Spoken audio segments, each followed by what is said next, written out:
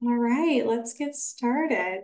Welcome to today's Smith in the World panel. My name is Heather DeLand, and I'm the Career Specialist for Government, Law Policy, and International Affairs in the Lazarus Center. We welcome all who have taken the time to join us today, including students, prospective Smithies, faculty, staff, um, family, friends, supporters, supervisors, colleagues, and anyone who I may have left out. Thank you for joining us.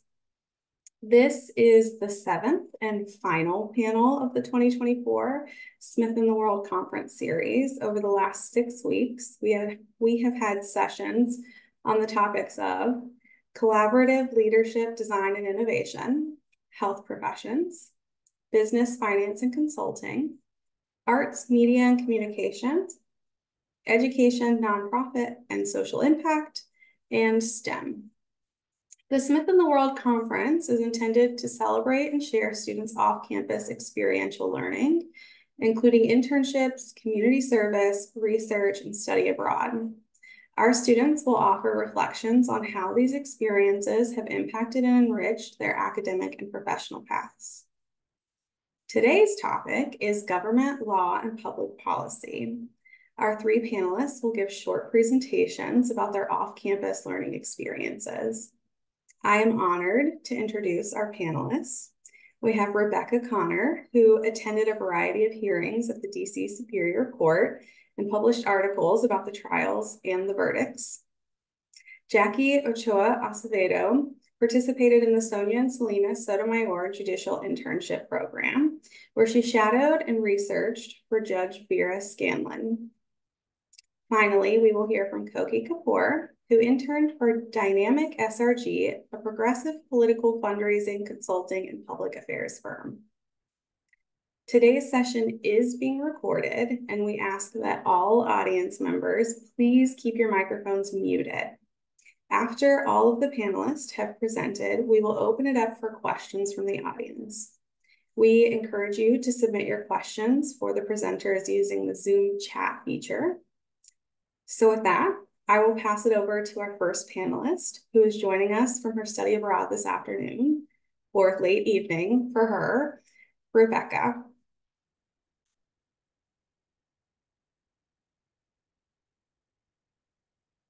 Hi, everyone. Uh, my name is Rebecca Connor, and I'm currently a junior at Smith College studying government sociology uh, with a concentration in journalism. And so um, this past summer, um, as part of my concentration, I participated in an internship with an organization called DC Witness, um, and I'm going to tell you about that experience today. So uh, what is DC Witness? So the organization that I worked for is a nonprofit organization um, in the DC area. There's also a sister branch in Baltimore, and they're primarily focused on bringing awareness to the criminal justice system in the DC area, um, specifically cases that aren't often highlighted in more major publications. So, you know, if you ever turn on the local news, you're probably seeing kind of a report of crimes that might have happened in your area that day. But unless something is seen as particularly interesting, it often doesn't get attention beyond that stage. And so part of the goal of this organization is to bring awareness of what happens after a crime has occurred and the steps that happen in the criminal justice system after that, both to bring light to what happens for the families and victims, as well as what happens for the defendants. Um, so primarily my work consisted of editorial work. And what that meant is that every day I was going to hearings at the DC Superior Court, which is essentially like the local court for um, the District of Columbia, Washington, DC. And I would sit in these hearings and I would listen to the judge speak, I would listen to the lawyers, um, I would hear all the proceedings, and I would research what was going to happen in these hearings in advance, and then I would write stories on them. So these stories were um, written for a variety of different reasons. We primarily covered um, homicides and non-fatal shootings because they're simply just, especially at the nonprofit level, aren't often enough resources to cover everything that needs to be covered. So we decided to focus on those specific um, felonies. But so that meant a lot of tough topics that we were dealing with and also led to a lot of cases where you can see the failings of the criminal justice system just as often as you can see the successes. Um, And I think that's one of the really important things that I learned from this internship was to try and look at every story from both sides, from both the victims and their family and the defendants, because a lot of times both groups are people who have had a really hard time and who have been disadvantaged. And so when you go into a courtroom, you really have to do so with a lot of empathy for everyone involved and a lot of understanding as often as possible, especially when you're writing stories and you're making the experiences and the most vulnerable moments of these people's lives available to the public because that's essentially what I was doing as I was writing about some of the hardest days of these people's lives and putting them towards the public because it's important for the public to know about what crimes have happened in their area, um, just for public safety, but also to know how the criminal justice system works and for them to understand how their community is being made safer or not safer by the systems that are in place. Another aspect of um, my work that I did was data work. And so part of DC Witness's mission is to also track um, felonies that happen in the DC area. Um, a lot of times, uh, law enforcement systems don't always have the best record keeping or the most accessible resources when it comes to tracking crime and um, other criminal justice issues in the area. And so one of the things that we did was every hearing, I would have to fill out a data form where I would say what had happened in that hearing, who was present, whether lawyers for the defense or the prosecution was there, was someone sentenced, was it a trial, what happened that day? And so keeping this information is important for us to kind of catalog what's going on in the city, as well as to make sure that we kind of have a record for when we're publishing these stories, that there's a way for us to back up what we're saying, right? You know, with responsible journalism, you always have to make sure that you're able to confirm what you're saying. And a lot of times, um, one of the things that I learned here is that public record systems are very difficult to use and they often don't have complete information. So a lot of the times the information that I was publishing in these stories was just from what I heard in the courtroom. It was not written down anywhere else. There was not a lot of record of it everywhere. Um, and so you have to take very detailed notes and be as accurate as possible because sometimes your notes and your word are the only thing backing up what you're saying and putting out into a public forum, which obviously can put the organization and you personally at a lot of risk. Um, and also with this data coverage, we try to use as many data points as possible to make sure that our coverage is unbiased. I mentioned earlier, like local news coverage of crimes can often focus around what's very sensationalized and what kind of seems most interesting to whoever decides to report the story. Um, and that can lead to biased coverage sometimes, where um, certain factors are kind of upped uh, just to make things seem more interesting and appealing to the public. And so by collecting data thoroughly, we were able to make sure that everything was as unbiased as it possibly could be.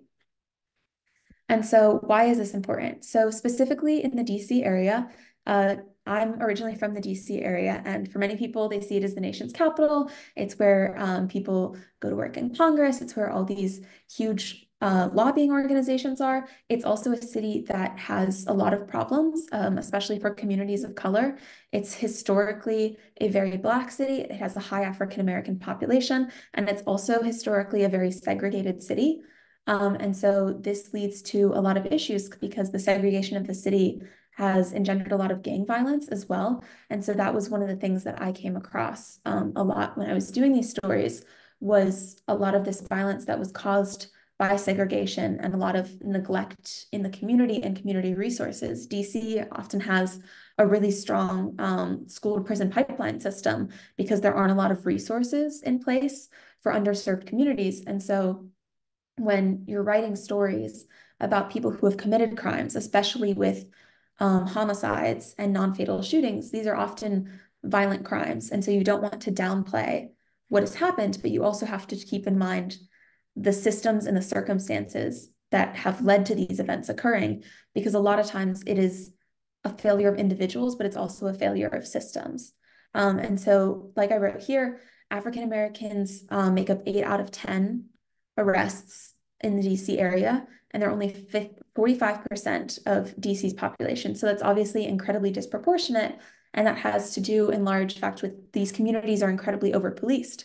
And so when you're reporting and you're a journalist talking about these things, it's something you have to keep in mind is, you know, you're writing these stories that are primarily about defendants who are people of color, but why why is that? Is it because these people are committing more crimes or is it because they're being arrested more? Because those aren't the same thing. And so when you're writing um, public facing pieces about issues that are really sensitive, like the criminal justice system, you have to keep all these things in mind. And then when it comes to victims, it's really important to tell the stories of victims and their families, because a lot of times victims are known by the people who are harming them. And so you have to tell a story of a community that's been neglected or who has been harmed. And so you kind of have to make sure that you're telling the whole picture and seeing how the criminal justice system fully operates and the ways in which it can hurt victims further or hurt their families further than the harm that's already been done. So my role as an editorial intern, um, I mentioned earlier that I primarily um, attended hearings and trials at the DC Superior Court. Um, and then I would essentially spend the whole day at the court. I would take notes um, about what had happened in these hearings, and then I would write articles about them. So these articles were often relatively short. Um, hearings, they can last five minutes and they can last a whole day. It depends on what needs to happen. Um, I think one of the things that people don't always realize about the criminal justice system is that there's so much more than just trials and verdicts and sentence and sentencings. So you have all these hearings that happen in between the moment someone is arrested and the time that they get sentenced or the time that they get released. And those are also important to talk about because people don't know about them, because people don't understand the way that the system works a lot of the time. And so part of the goal of the organization was to make sure that this process is facing some level of transparency and the public is able to understand what's going on. one of the other things that I found really interesting while I was here is a lot of times in these courtrooms, I was the only person there who was not a defendant, the judge, or a lawyer. So there is no one who was really watching these proceedings a lot of time. And so public accountability is really important because we need to make sure that we're holding systems of power accountable. And so one of the ways that you can do that is by being a court observer, which is part of what my job was, but it's something that anyone can do. A lot of times you can just walk into a courtroom and watch and see what's going on. And that provides a level of transparency to the process. That's really important that I realized after seeing how many of these hearings people weren't going to and no one was seeing and no one was witnessing what was happening with these stories. So um, I wanted to talk a little bit about uh, the day in the life of being an intern um, in Washington, D.C., specifically in the law field. So um, it starts really early, especially in journalism. Um, you have a lot of very quick turnarounds. So that meant that I received my assignment for the day, what hearings I was going to be sitting in on really early in the morning. Um, I would take the subway and I would be researching on the subway on my ride in because I a lot of times courts don't post the schedules um, for what's happening until the night before. And so that's another issue with public accountability, right? Is you don't always know when hearings or trials are happening because things are constantly being rescheduled. And since defendants are oftentimes imprisoned, they're able to be brought in at pretty much a moment's notice, but the public doesn't always have that level of availability. And so it can be difficult to kind of make sure that you're attending the right hearings because schedules are only published the night before. Um, and so also another thing is usually computers or electronics of any type are forbidden in courtrooms unless you're a lawyer or you're working for the court system. Um, and so that's something that's really interesting as well. And this was something where if there was a high profile case that I was uh, covering, they would actually make you lock up your phone before you went inside the courtroom just to make sure that no one was recording, um, no one was saying anything that was getting out. And another thing is also that a lot of judges and lawyers will not necessarily appreciate that they know that their statements might be made public. And so that was definitely something that I learned that was very interesting was these are people's kind of their daily jobs, right? And they're obviously very impactful on the lives of everyday people, but it could definitely be a little disconcerting to have your every word at your job being put forward for public scrutiny. So one of the things that I also had to try and do was cultivate a good relationship with lawyers and with judges as much as possible so I could talk to them for my stories. And so just saying hi and just being friendly will really get you a long way. It's like any internship, networking and being friendly are just super important. Um, and so again, it's a very fast paced day when you're a journalist. So during lunch, it was absolutely a working lunch. I would take notes and write up my notes um, for my morning hearings because I could only write them on paper because you couldn't take a laptop into the courtroom. But for our records, we had to have them stored digitally. So that meant that every note that I was writing down, I was writing twice, once when I was in the courtroom and once when I had to type it up for our records. And then in the afternoon, after hearings had concluded, I would type up my story and I would send it in uh, to my editor. And then depending on what time hearings concluded that day, I would either get edits back at the end of the day or early the next day to complete. And so it's definitely a very fast paced day. Um, in courts and in journalism, things happen very quickly. You need to get information very fast. There's very quick turnarounds. And so you kind of have to just be on top of things as much as possible. So um, I wanted to give some examples of the work that I published um, with DC Witness this past summer. Um, and so this was an example of a case that was really difficult um, because, again, it's just a reminder that I think a lot of times in government and public policy work, if you're kind of removed from the work, it can be easy to forget that you have a real impact on people's lives. And a lot of times you are dealing with people in very vulnerable moments. And so you have to be very factual and um, present information as it is, but also be as kind um, as possible. And so one issue that we had in this case in particular was kind of an ethical dilemma where um, during testimony, someone had said something bad about the victim whose picture you can see here. And we had published that in our organization's paper. And um, the person came to us and said, We don't want that published. We don't want these negative things said about him. It's not respectful. Um, but ultimately, the person who was accused of the homicide, um, she was released on most of the charges based on self defense.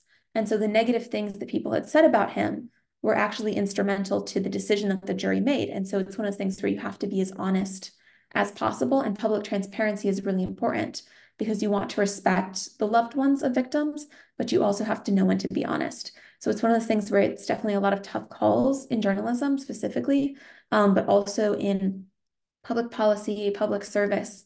You have to be as respectful to people's vulnerable moments as possible, but also do what you think is morally right. And that can be a tough call a lot of the time. Um, another piece that I worked on was actually a really interesting case. Um, it was a man who had been extradited from El Salvador.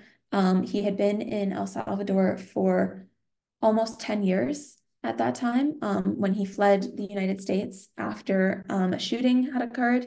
And so it was really an interesting glimpse into the legal process because extradition, extraditions don't happen that often.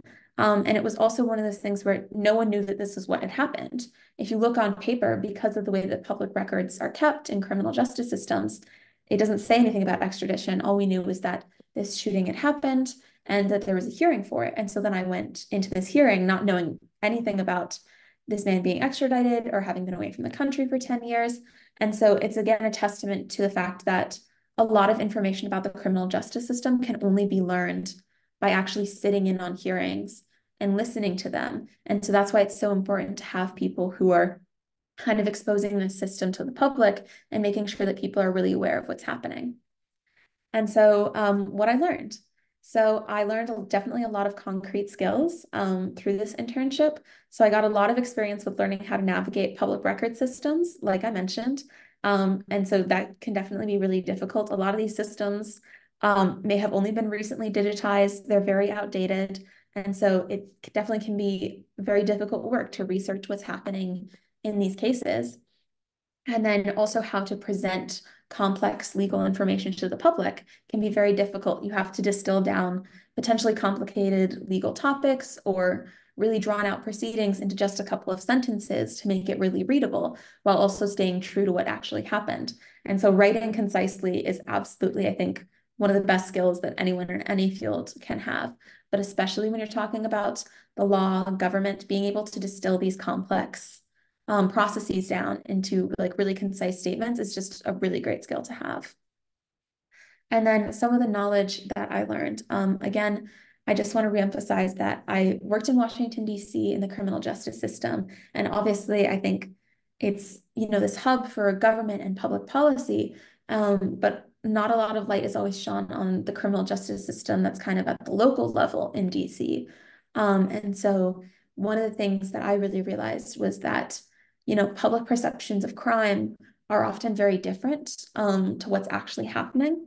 And so while I was at the organization, um, I did an investigative piece about sentencing guidelines in the DC area and how outdated they are. And what I actually discovered was that these, uh, these systems hadn't been updated in over 20 years, but also um, there were times where sentencing guidelines, which are the guidelines that judges are encouraged to consider when deciding a sentencing for a defendant, would contrast with mandatory minimums, which is when a certain crime has been committed um, by a certain individual, sometimes sentences are mandated for that specific crime. Um, people know a lot about mandatory minimums in the context of drugs, but a lot of times there's also mandatory minimums for gun possession and things like that. And so these guidelines would conflict what judges had to do and what they were told to do by an independent board and were encouraged to do would conflict. And so it shows that these systems are really outdated.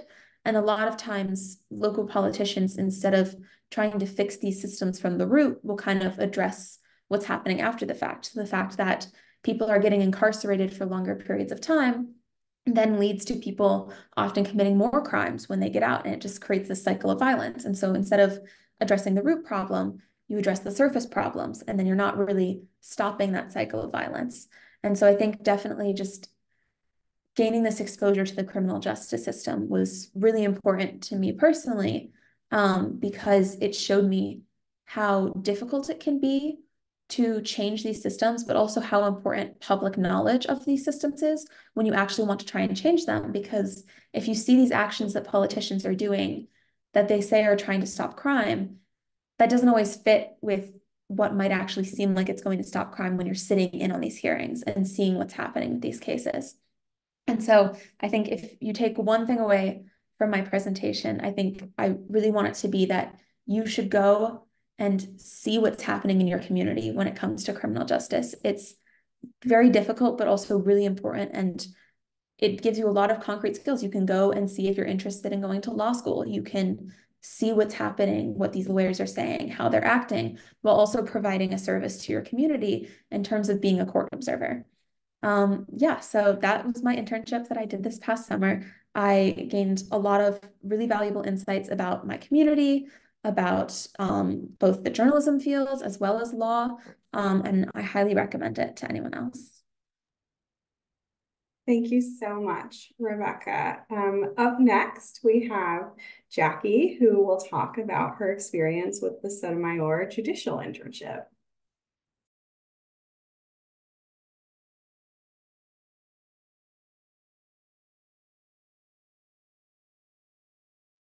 You can see my screen, right? Uh oh, I'm so sorry. I was, oh, okay. Let me do this again. so sorry about this. Mm. Okay. Mm.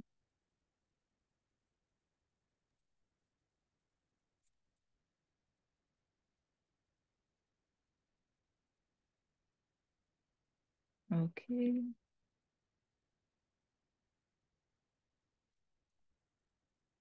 All right, everyone can see my screen? Amazing.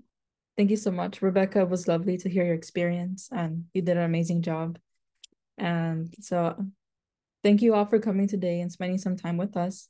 I will talk about my, my experience today. And my name is Jackie Ochoa Acevedo. I am from Los Angeles, California. I'm a senior majoring in government and minoring in Spanish. I'm a first generation low income queer Latina.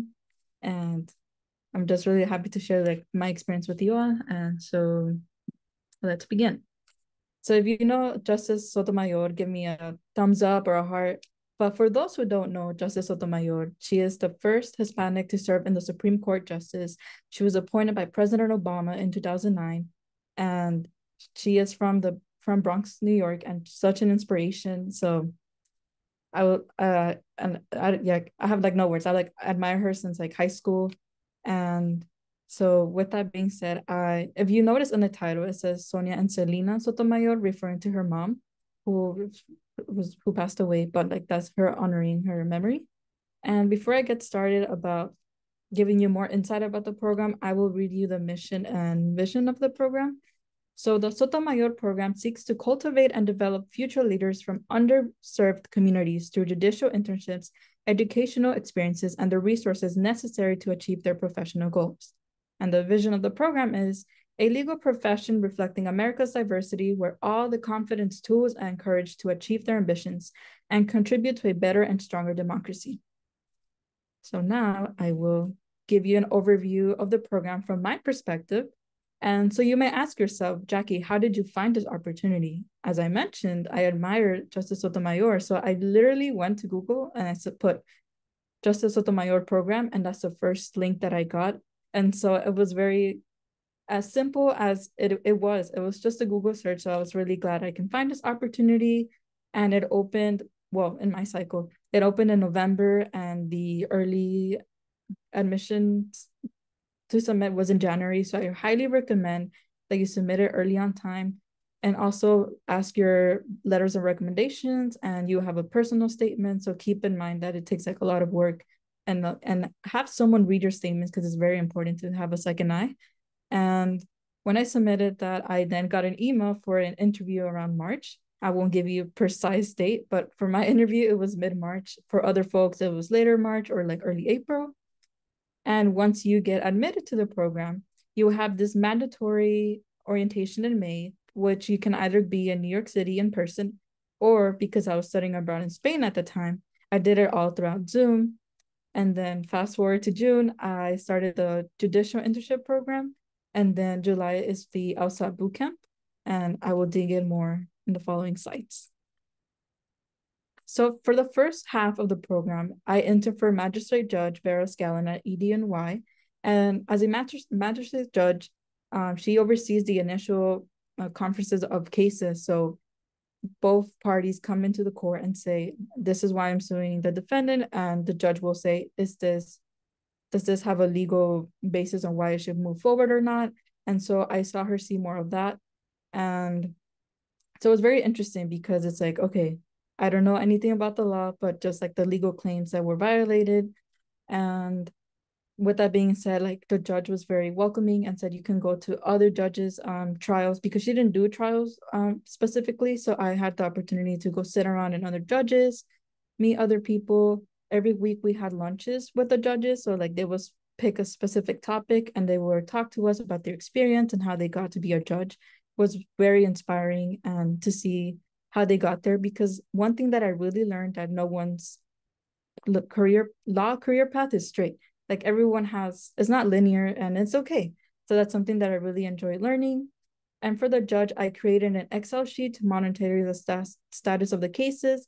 So I was given a 800 load to determine if they were closed, open, or pending. And so how I decided about that pending meant that it went to appeal, close, you know, like there's nothing to do, and open that is just in the process of being decided what's going to happen with the case. And before she would hear these hearings, um, we were given cases, and I would, you know, the cases are very dense and there's so many documents. So I had to prepare like a one, two page summary on what the parties were presenting tomorrow and what questions she should ask. And so finally one of like the most rewarding experience was writing a background and facts summary judgment because you may ask yourself as an undergraduate what can i do? I cannot uh, recommend a legal i can't recommend legal recommendations. And so that really helped me test my writing skills because again the docket is so big that it's like it's a lot of information that's being thrown at you. And so this is a project that i work with my supervisor max who's a lovely law clerk for the judge. So that's something that I learned that the judges, you know, they're the one presenting to the parties, but it's the law clerks who like really help the judge, you know, present the information in adequate time and like manage her caseload. So that was very rewarding. I was also in the room with law school students who were also entering for the judge. So it's very inspiring because I can ask, you know, questions that you can't really ask in Google and say like, okay, so what is law school real like? How do you study? And they even show me their notes, which was very like nice because it's like I can't really have access to that. As I mentioned um, prior, I'm first gen um, college student, so I don't have um, lawyers in my family. So it's very nice to have that one-on-one mentorship from law school students and also the law clerks and the judge. And moving on to the July aspect. So this is the LSAT bootcamp that you receive a course in Kaplan. and it is like a nine to five course, but sometimes around the weeks, we had law school visits to the schools you can see here in Columbia School, Fordham, and St. Um, John's University, where we also receive workshops on how to make your personal statement stronger. As you all know, the, with the decision of affirmative action, this is changing how admissions look at applications. So it was very useful to know, like, what should I be saying? What can I not say? And another event that I really appreciated was the um, National Bar Associations. So one of the bar associations that showed up were the Hispanic um, Bar Association. And I got to speak with the lawyer, you know, who looks like me and was like very inspiring because it's like, you know, you can make it in life. You just need to know your why and I keep going and reach out to your support system. And another event that we also did was the mock law class, which if you guys are in the Smith College Pre-Law Society, we brought we brought this last semester and I feel like it was something that I have to share with folks because personally I've never been exposed to a legal case. So having um a case to, you know, prepare for and then actually be got cold call was a wonderful experience because I feel like that's something that we all share, like the anxiety of being cold call in a class. And it's okay. It was low stakes and it was very wonderful. But the best best event was actually meeting Justice Sotomayor, and I cannot, for legal reasons, I cannot show you a picture, but it was so wonderful to meet her in person. She shook everyone's hand. She took a picture with us. It was really quite re remarkable. I left that day. I was just like, I cannot believe I'm in the same room as Justice Sotomayor. And it was just a wonderful experience because you see someone who's at the highest court making it, making a name for herself, for her community, but it was just something that I will forever cherish in my life. And unfortunately, I can't share those pictures. But if you are interested in the program, like you can definitely meet her and you can ask questions, and it's a really great program. And you may wonder, how did Smith help me with this, um, how, how to get to this program? And I feel like my major as a government major, I came into Smith knowing that I had to work twice as hard because I attended public education school from K to 12. So my writing skills were not there. And so I really am appreciative like learning learning how to write and think critically and, and improve my research skills. And I also did the Jean Picker in Washington program in fall of 2022, which really like um helped me so much, not just in my like professional career development, but also in my academics and I took the Washington seminar in government. And it was a very rewarding experience because during the day, I was interning for Senator Elizabeth Warren as one of her legislative intern. And during the evenings, we would attend class and learn more about how Congress works and also write a research paper, which was, you know, it's a lot to handle, but it really helps you prepare for what the real world experience is like. You know, you may come thinking to work one day, like, okay, I'm going to do this set of tasks but it's something that I learned with this program is that, you know, you have to be fast on your feet because I saw that the judge would ask um, the parties to please submit this document by the end of the day. So I imagine for those like plaintiffs and defendants counsel, they had to really like abide by her deadlines because, you know, if they don't submit those documents on time, it really hurts their case. And so with this uh, opportunity to, from going from the picker program and seeing how the legislative branch works and how they make laws and now experiencing how the law affects communities mostly communities of color and it really comes down to the judge to decide what happens. It's very fruitful and like a very a work that is needed to be done. And so oh so sorry. And with that being said this reaffirmed my decision to attend law school. I you know imposter syndrome comes in and you may question like myself like am i even worth it? But with this experience it really gave me the opportunity to tell myself like yes like i should go to law school because um the legal field is not diverse itself. And i've noticed that you know we need uh, uh, people of color need to take up these spaces. And one of the cases that has left a mark in my experience with this program was a pro se litigant case. A pro se litigant is someone who's representing themselves because they cannot afford a attorney to present them in a case. And it was very it, impactful in the way because you see that they have a meaningful case that they're bringing to the court and you know they don't know the law and so that can leave some discrepancies but i can attest that at least my judge took the time to explain what the legal proceeding meant and any questions that they had although I spoke with some judges and some lawyers and like even law students, and they said that this is not the same case in all courts of the United States. Some judges would not take the time to explain that. And, you know, that's something that's out of our control. But seeing those moments and be in those spaces, it allowed me to think, okay, I want to help my community, but not just my community. I want to help all communities. So another thing I learned is to remember your why because that will take you a long way in your life. You know, because even at Smith, you were like, oh, I'm not good enough, and you get this imposter syndrome. But no, just ignore the noises. You got this. And if I can do it, I feel like anyone can do it. And yeah, thank you so much for taking the time to hear me speak about my experience. Thank you so much, Jackie. That was wonderful. Um, and our third presenter is Koki. Hi, everyone. Um, Rebecca and Jackie, that was awesome. I feel very lucky to be in your company um, and learn about your ex amazing experiences. Um, so I will go ahead and share my screen. I hope everyone can see it. All good? Okay, perfect. So hi everyone, my name is Koki Kapoor. I use she, her pronouns. I'm currently a junior at Smith majoring in Gov and Quantitative Economics. Um, this past year, I uh, was actually a participant in the Picker program as well. Um, and it's offered by the Gov department at Smith and it allows you to pursue internship opportunities over the summer and the fall while also taking classes. So it's a big uh, responsibility, work on an independent research project. So it's kind of your first take at adulting, like Jackie said. Um, and it was a very fruitful experience. So for why I'm here today, I'm talking about my summer internship experience. Um, I worked as a campaign research intern with Dynamic Strategy Research Group.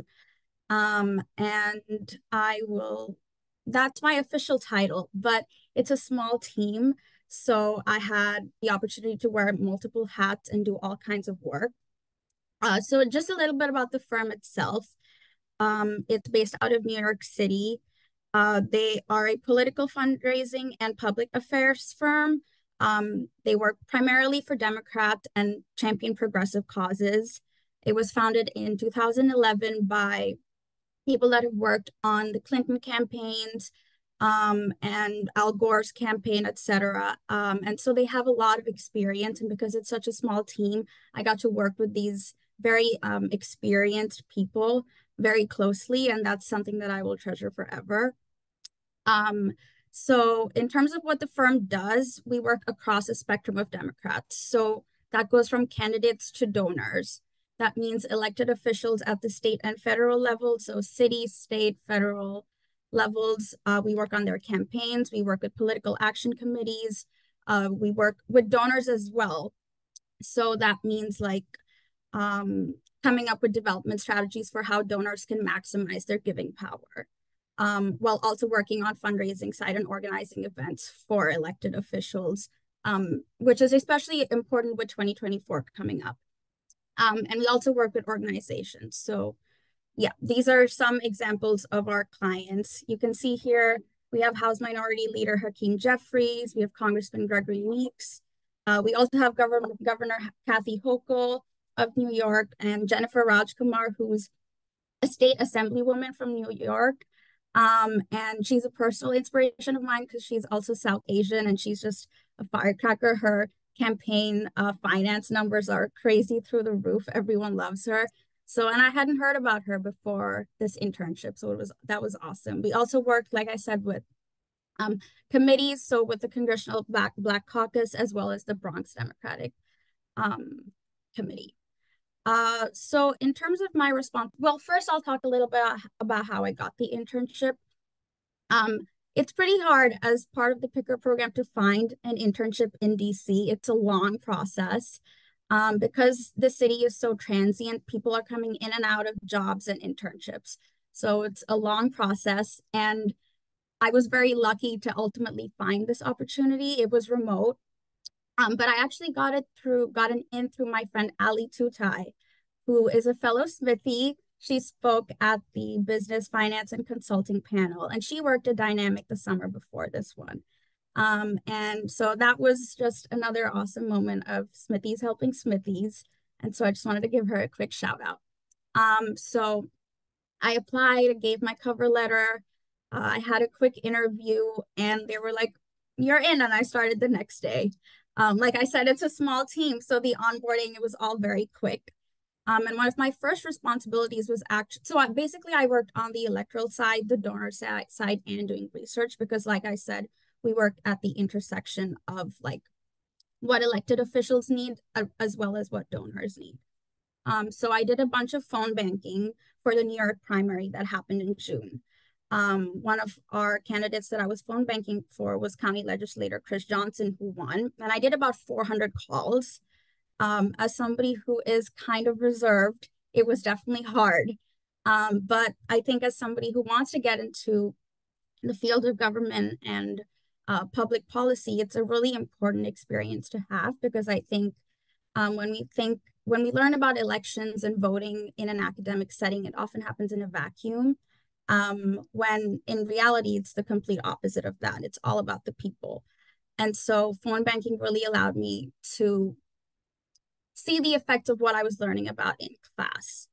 Uh, for example, later on in the Picker program, we took a seminar on polarization. And so I was able to connect the dots between the behavior of people on the phone when the moment I mentioned the word Democrat, I would, the call would get cut. Um, and I hadn't even gotten to a policy stance yet. And then eventually in the in my class later, I learned that that's a form of affective polarization. And so it was really great opportunity for me to connect the dots between my learning and what is actually going on in the real world. Um, I also um, created a database tracking in-district donors, which I'll talk about a little later. I donate, I organized a bunch of fundraisers for city and federal level officials. Um, I learned a lot of the know-how about political fundraising on the donor side, how the importance of updating contact information, um, like coursing through databases and uh, through the internet. They loved that I was 20 years old because I was pretty good at that part. Um, and also doing um, campaign finance research and competitor analysis. Um, and picking, so for example, one day I got like an email from my boss that um, we have this, we've heard like through the grapevine that Assembly District 18 is going to open up, like the seat is going to open up. And so we needed to do all of this kind of research. So I got really integrated into the political world and how so much stuff happens through word of mouth and through rumors before they actually become news stories. Um, so that was pretty cool. Um, just a little more about two of like the specific things I did. Um, I worked a lot on creating a database for fund matching changes. So basically over the past couple of years, the state of New York has implemented a new fund matching system, um, wherein the co contribution level to candidates um, has changed. So basically what happens is the election committee and the state will match a certain amount um, of donation that a resident can give. So since those numbers have changed, it's very important that we identify donors whose contributions can qualify to be matched so that we ensure that we meet the thresholds to re receive the matching funds from the state because that's really good for campaigns. More money in a campaign usually means more success for better or for worse. Um, and so I basically had a spreadsheet of a list of donors who had donated to our campaigns. I had their addresses and I had the district map. And basically it was tedious work because it was about 2,500 people overall that I did this for, I would go into the district match, look up their address, and find if their fund, if their donations qualified or not. Um, and then at the same time, there's also a couple days ago, you may have seen in the news that um, the New York congressional map has changed a little this year. It's been redistricted, and there is a slight Democrat leaning this time. Um, and so, because of that, I had to also look, compare zip code maps and existing as map, assembly district and state senate district maps and see what had changed and if there were new zip codes that qualified. So I was really integrated into like gerrymandering and seeing how redistricting works. Um, and it was interesting for me because at the end of the day, I was an intern. Um, and I was just looking at these maps, looking at zip codes and saying, okay, this fits within these lines. And so that's kind of how it's going to work. Um, and it was a little jarring because it felt like there was so much power in my hands for a second. Um, and so I think when we think about how gerrymandering dispor disproportionately affects um, people of color and how um, the resources that they get during the electoral process and how they're franchised, um, I think it's very important to think about who we give power to. Um, and so, yeah, that was a great experience that I had. And then in terms of organizing fundraising um, events themselves, uh, this is a poster that I made for an event that I helped organize for the Bronx Democratic County Committee. Um, it was celebrating the 50th anniversary of hip hop. Um, and this was great because I got to work with Darren, who's one of the co-founders of the firm. And he kind of taught me about how um, fundraising works and basically how to target people, how to um, make sure that we're always in communication, which I think is an important networking skill as well that I will take into the world with me. But I was told that every year, honestly, any holiday, you should keep in touch with the people that are important for your cause um, and ensure um, that they remember you and they remember um, what you need and also you remind them of what you can provide them with. Um, and so, and I also learned a lot about looking at donation amounts and seeing how to potentially get people to donate more um, and kind of how to categorize donors in that sense. Um, and then ultimately, um, in terms of like my takeaways from the experience, it was great to have practical campaign experience while also learning a lot about like quantitative skills, etc um, through all of the data work that I did, I also got to compare campaign finances across um, different campaigns. And so that was very cool to see um, how unupdated some of the websites are for the New York Election Board. Um, and further, I on the donor side, I worked with a lot of high net worth individual donors, and it was interesting to see the role that they play in the political world that often goes unnoticed. Like we talk a lot about the revolving door between um, Washington, D.C. and Wall Street. Um, and so especially working with a firm based out of New York, where there's so much, um, where so many corporations and real estate tycoons live. And these are often people donating huge amounts of money to our elected officials. It was interesting to see those worlds collide. Um, and eventually, um, in the fall, this experience really prepared me for my time at the National Women's Political Caucus, where I also did a lot of work um, on the campaign side, but this time vetting female candidates, um, pro-choice female candidates, and fundraising for them and coming up with development strategies as well. So overall, it was a really great experience. And um, I will be returning to DC this summer. So I think all in all, um, it was very positive for me. Uh, and yeah, if anyone has any questions, I'm happy to answer them in the Q&A. Thank you.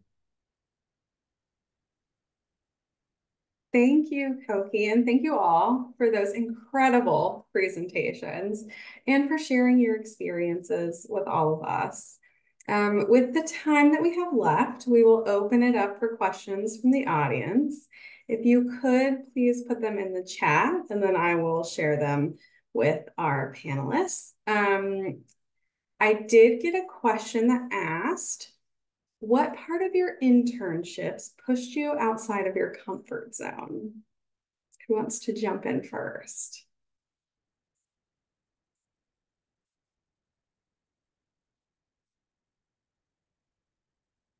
Okay, Jackie, you're it.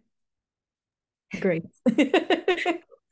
I think for me is like presenting to the judge because you are talking to this person who's so knowledgeable and has so much experience and like just giving her a brief um summary of the case and it's just like oh am i doing a good job so it's like it's that power dynamic but I, I at least for my judge, she was like very welcoming and she would always question me, what do you think about this case? Like after the um parties left, and wh- how would you go about it? And I was like, it really pushed me to think critically and because she has to be impartial. And so she would throw questions at me and I'd be like, okay, I think this is like great, great for me just because I can see double sides of the coin, but also have a conversation with a judge.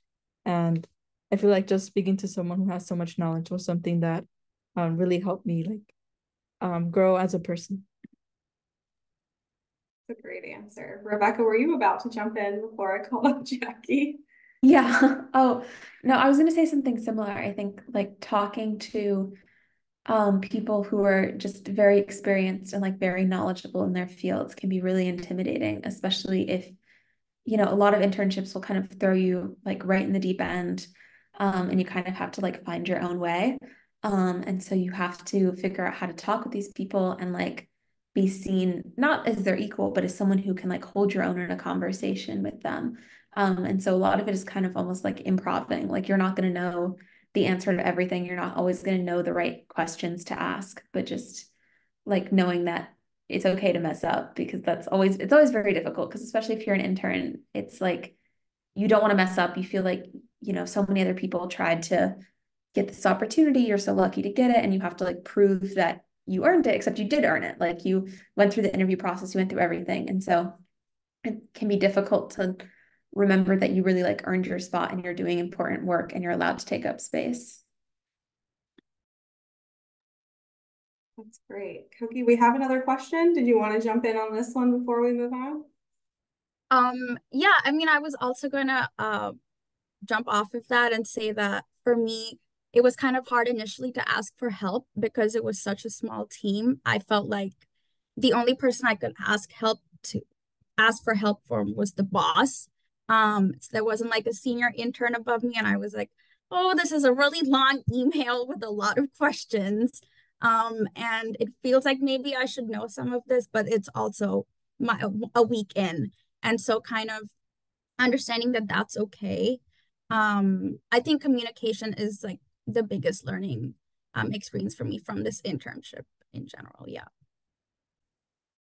That's great. Thank you all. The question we got in the chat just now is how has gender affected your experiences in the world of government and or law?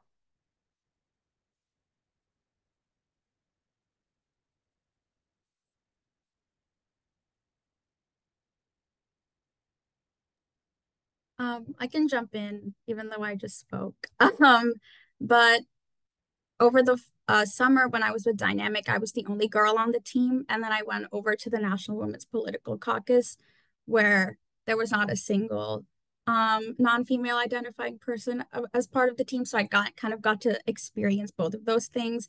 And I will say that during the summer, it did at moments I would be reminded on like team meetings or team calls when they would be talking about things that I was the only um, girl in the room and I was also the youngest person there. And so there's definitely an interesting dynamic that you have to navigate being like um just that young and being a woman for me personally that is something that I've learned that I have to get used to um sometimes because it will not always be the case that you will go on to like the National Women's Political Caucus.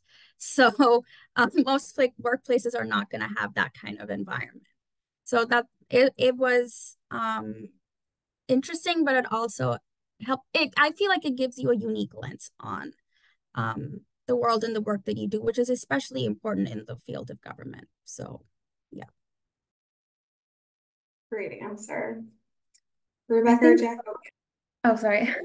I was gonna say, I think at least in law, I think there's a lot of kind of like solidarity with women lawyers and wanting to have more women in law. And I think that's true of like also just a lot of like marginalized groups as well. Like people want to see you succeed and they know how difficult becoming a lawyer can be. And so like when I was there, like I wasn't even involved with the lawyers that I was talking to, but they were like, oh, do you want to go to law school? Like, do you want tips? Like, do you want to talk through it with me? And like these were people who I didn't even really know. And so I think that like there is a sense of solidarity there because people know that it's difficult and they've struggled. And that's not to say that like gender isn't going to challenge you or that like it's easy necessarily, but that like there is a lot of times a support system for you in certain places and it's not going to be there for everyone and it's not going to be there in every internship and it's not going to be there in every organization but it is in a lot of places if you're able to find it I think everyone pretty much covered how I felt, but I feel like with this experience, something that I visibly saw that the legal there's a big huge gap with who's a who's who's lawyers. It's like white cis men, and then that gap just gets like there's a, there's a stratification. Start, oh, so sorry. There's like a there's such just gaps in like your identity. So if you're a person of color, like it just gets I would say worse in the legal field. So like reminding myself that when the imposter syndrome would kick in, I'm like, okay, you know, I have this is my right, like I earned my spot here and I should voice my concerns. And that's all you need to remember. Like you're valuable. If you got the opportunities because you are deserving. And as like my peers mentioned, like don't ever doubt it because they want they chose you for a reason. So just keep those things in mind and you will be very successful. That is great. We did have other questions in the chat, but we are at time. Um, so if people reach out to you directly about your internship, is that okay? Yes, okay, great. So with that, we will conclude today's Smith in the World panel. Thank you all again um, for joining us, and thank you to our wonderful panelists. I would also like to extend a huge thank you to Emily Beaudry for organizing this conference series and for her commitment to the experience, experiential learning of our Smithies. I hope you enjoyed this session as much as I did. Um, I hope you all have a wonderful evening. Oh, and thank you, Emily. Questions can come to Lazarus, Lazarus at smith.edu.